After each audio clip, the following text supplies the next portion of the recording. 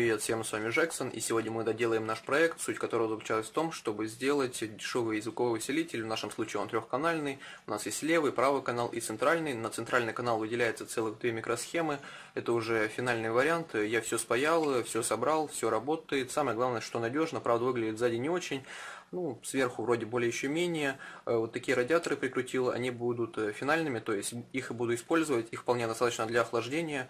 Единственное, что на 24 часа, пожалуй, они не рассчитаны, тогда придется добавить еще активное охлаждение, но на 3-4 часа, я думаю, их вполне хватит.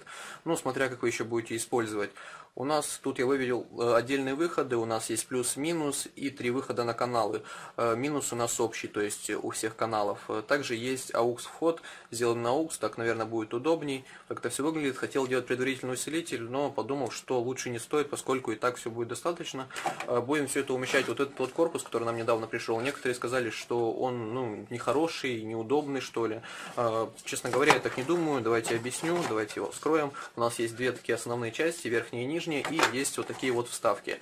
Самое удобное в этом корпусе то, что эти вставки, они съемные, и их легко можно, скажем, модифицировать. Я думаю, вот это у нас будет лицевая панель, например, в нее вкручу вот такой вот переменный резистор, прикручу какую-нибудь крутилку, э, при помощи него можно будет регулировать громкость. Правда нет, это нужно будет э, двухканальный переменный резистор, чтобы у нас было на два канала.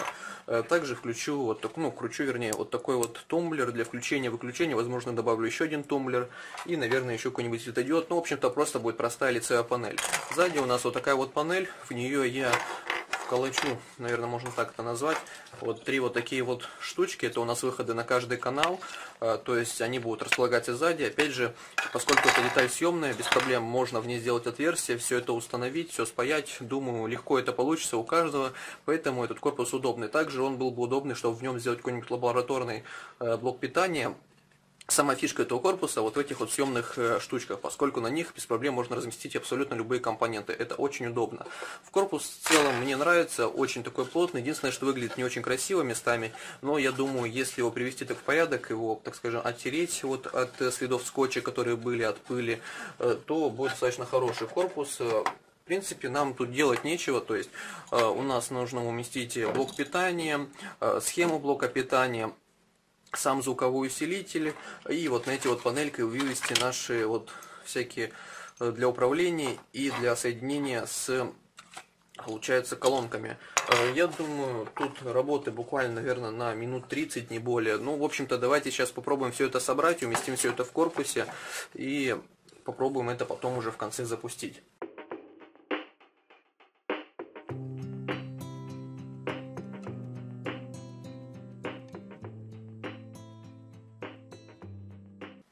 В общем-то, я нанес разметку, сейчас буду проделывать отверстия. Конечно же, я мог все отверстия проделать при помощи какой-нибудь ножовки, но все делать буду паяльником.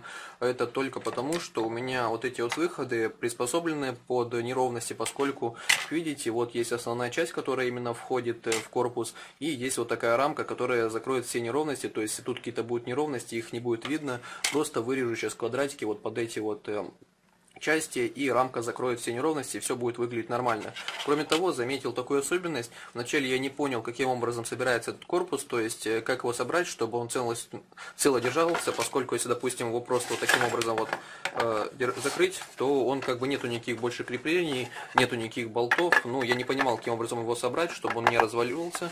Э, но потом понял такую вещь, что вот эти вот э, дырочки, это все специально продумано.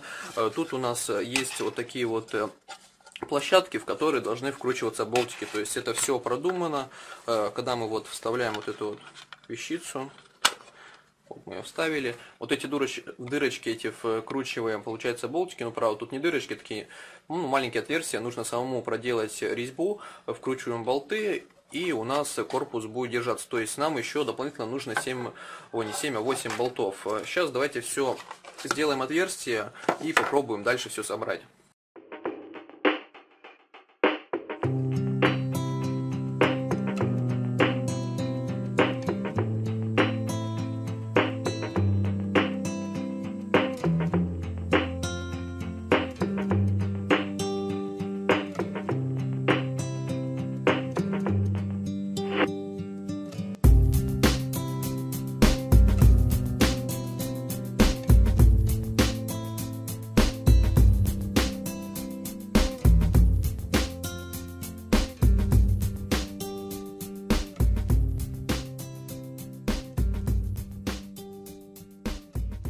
Общем, я сделал заднюю панель, теперь она вот так вот выглядит. Как вы видите, все делается очень легко, поскольку это пластик, при помощи паяльника все это сделал. Очень спасли нас рамки, то есть э, недолго все это мы делали, буквально потратил на это минуты три. Э, взял все паяльником, сделал отверстие, при помощи ножика доработал, убрал излишки пластика. Так это выглядит. Единственный косяк, который я сделал, это у нас вот с этой стороны, вот тут есть э, ну, небольшой косяк, паяльником задел. Теперь тут есть такие отпечатки, остатки. Э, к сожалению, их убрать у меня не получится, но это у нас задняя часть, поэтому видно их не будет. Главное, чтобы на лицевой стороне вот таких же косяков не сделать. И также Получается, что я не рассчитал немного, и у нас вот последняя вот эта вот штучка, она сюда не подходит, то есть вот вставим две, да, видите, она просто вот сюда буквально не влезает. Я, скорее всего, сделаю так, что немного ее подпилю, нижнюю часть, наверное, отрежу. Ну, как-нибудь посмотрим, придумаю, что я сделать. Немного не рассчитал, надо было вот эти вот э, входы разместить немного выше. Ну, ладно, как получилось, все это доделаем. Э, кроме того, когда вы делаете вот э, с подобными вещами, у которых есть рамка, очень удобно, поскольку можете сделать отверстие больше, и если вот так она шатается, то есть это даже хорошо, то, что она так шатается, специально это сделал, и потом при помощи термоклея клей или при помощи болтов можно это все без проблем выровнять, то есть э, можно без проблем выровнять, поскольку из-за рамок все равно не будет видно вот э, края вот этого вот отверстия. В общем-то, теперь давайте, наверное, приступим к лицевой панели.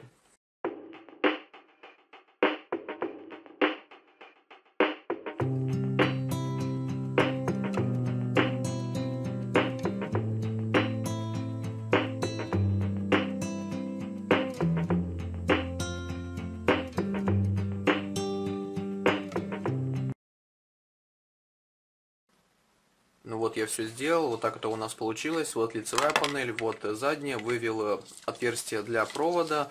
Э, пока что центральные каналы вставлять не буду, поскольку закажу отдельную специальную вот такую вот штучку, только поменьше, и вставлю его вот сюда вниз, чтобы она обязательно была сзади. Мог бы разместить центральный канал на передней панели, но это было выглядело, наверное, некрасиво. На передней панели у нас тут переменный резистор, э, тумблер и светодиод, потом при помощи сопротивления, по-моему, там нужно всего лишь 470 Ом, я высчитал из 12 вольт, чтобы снизить. Э, мы сделаем так, что когда мы включаем тумблер, будет загораться светодиод, то есть э, достаточно удобная такая штука. Ну, в общем-то, вот так пока что у нас получилось. Единственное, что осталось все это уместить в наш э, чудесный корпус и проверить на работоспособность.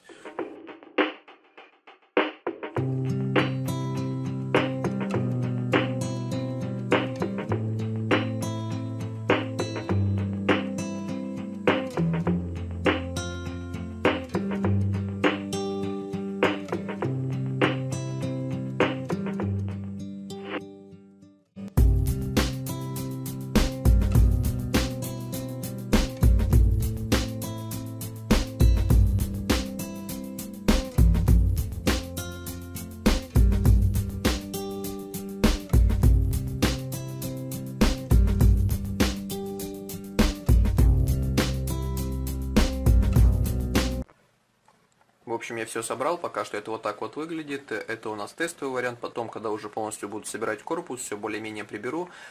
Полностью все спаял, все элементы управления. Сейчас все это посадим в сеть, проверим. Вроде бы все нормально, нигде провода не замыкаются. Так, трансформатор даже еще не прикреплен. Давайте попробуем включить это все дело у нас в сеть. Так, я включил.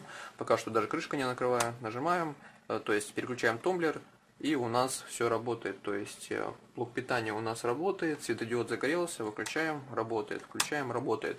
В общем-то все классно, э, вроде бы все нормально, вроде еще ничего не взорвалось, э, но посмотрим. Сейчас все это соберу нормальный корпус и будем это все дело тестировать. Как насчет корпуса, кто говорил, кому не нравится, по-моему, корпус вообще идеальный для этих целей, с ним очень удобно работать. Допустим, давайте сейчас его попробую закрыть ну, не полностью закрывается, потому что там были небольшие излишки клея.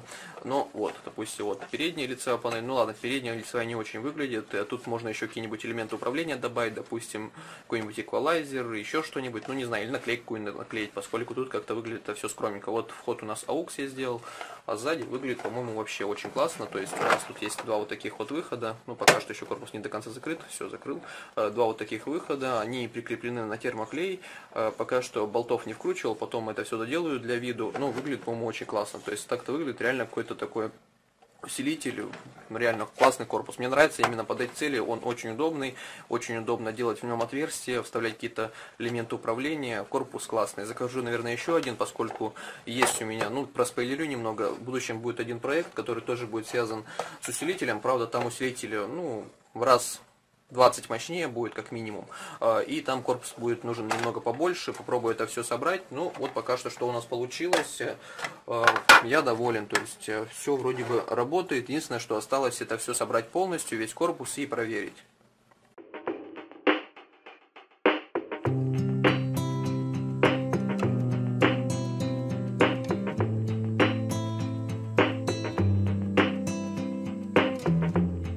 Все собрал, вот так это у нас получилось. Это почти окончательный вариант. Единственное, что осталось вкрутить последние болтики. Э, также у нас сзади пока что только два выхода, учитывая, что у нас усилитель трехканальный, нужно будет добавить еще один. Потом я куплю более мелкий, поскольку еще такой же у нас не влез. Закажу, скорее всего, его с Китая, установлю его тут. Но пока что я расположил все таким образом, что у нас на один канал идет э, простой усилитель, который идет с одной микросхемой, и на второй канал у нас идет средний канал, который идет э, с двумя микросхемами схемами и по идее должен быть мощнее. Сейчас это все проверим. Э, давайте все подсоединим. Послушаем, как оно звучит. Сначала подсоединяем э, колонку мощностью где-то 30 Вт в усилитель подсоединяем к простому каналу. То есть пробуем простой канал, который идет на одной микросхеме. Так, включаем это наше дело, загорелся светодиод. И теперь на телефоне включаем музыку.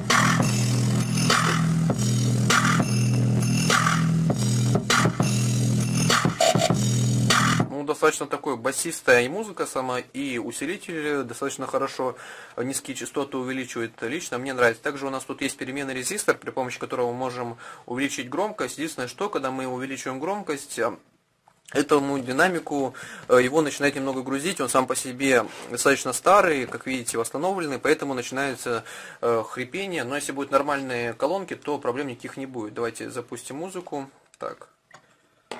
Э, и пробуем э, увеличить громкость.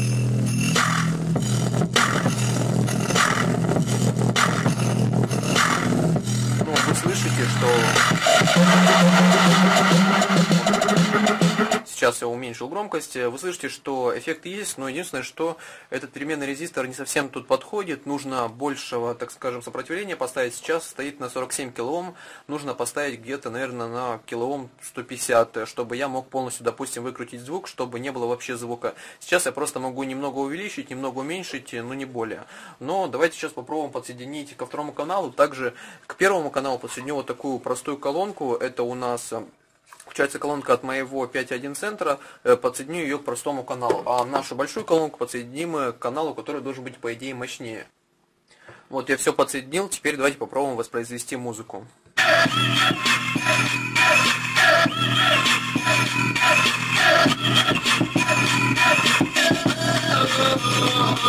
Ну,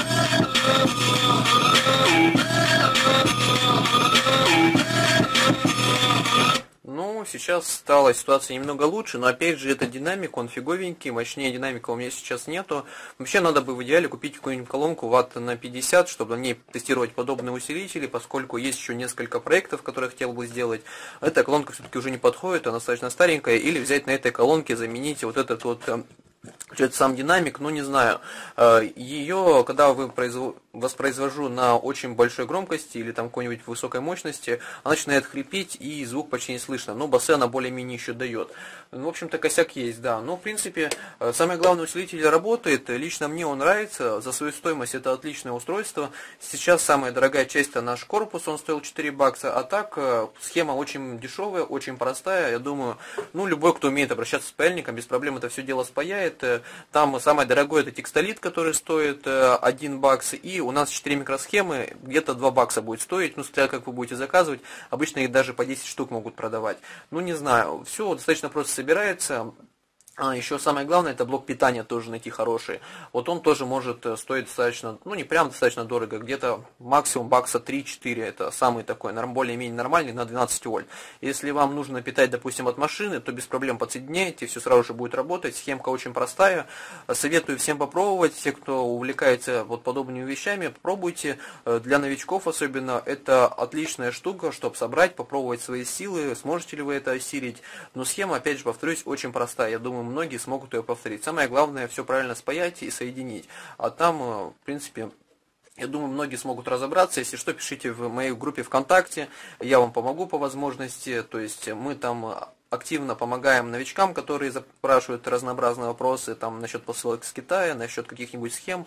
Э, постараемся помочь. В общем-то, с вами был Джексон. Подписывайтесь, ставьте лайки. Вот такой усилитель у нас получился. Больше видео, скорее всего, про него не будет, поскольку там уже мелкие доработки. Я не вижу смысла на них тратить целое видео. И, в общем-то, пока.